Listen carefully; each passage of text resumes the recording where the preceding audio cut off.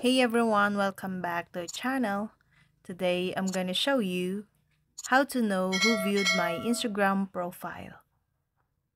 Well, to be precise, there isn't any straightforward way for you to check who views your Instagram page. Instagram doesn't have an inbuilt-in feature to let users check who's viewed your profile. And there's a very good reason behind that user privacy using third-party apps to see who viewed your Instagram profile. There are an absolute ton of apps, both on the App Store and the Play Store, that will have you believe that you can see who viewed your Instagram account and find your Insta stalker by giving them access to your Instagram account. The first one is Social View for Instagram. Social View for Instagram is one of the iPhone apps that claims it can show you who viewed your Instagram profile. However, if you go through the reviews on the app's page, you will find that it actually doesn't work.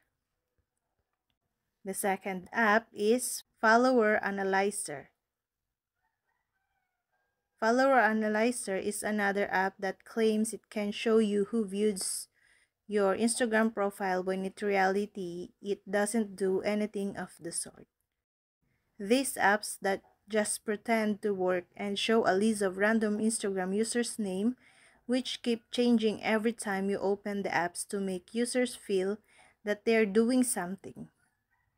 More importantly, these apps runs the run the risk of being a major privacy threat as they collect all your account data as soon as you log in with your Instagram account and give them access to the data. And note, there are a lot of scammers out there who claim that they can tell you who has viewed your Instagram profile in exchange for money, or sometimes by asking for your account credentials. Beware of such fake claims and don't pay random people money with the hopes of gaining access to information that Instagram simply doesn't let anyone see. And that's all.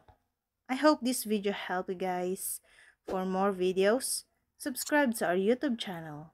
Thank you for watching. See you again.